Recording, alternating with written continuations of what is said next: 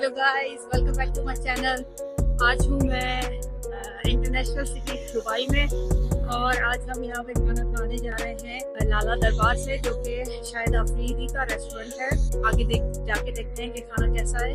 Mean while आप देख सकते हैं कि मेरे राइट साइड पे और लेफ़्ट साइड पे डिफरेंट बिल्डिंग्स हैं। इंटरनेशनल सिटी नाम इसलिए क्योंकि यहाँ पे अलग अलग क्लस्टर्स हैं France cluster China Russia England तो जितने भी क्लस्टर्स के नाम हैं, उनकी जो बिल्डिंग्स उनके मतलब उनकी जो बिल्डिंग्स होती हैं, उनका ही डिज़ाइन स्ट्रक्चर वैसा होता है बाहर से। तो इसीलिए उनको ऐसे नाम दिए जाते forget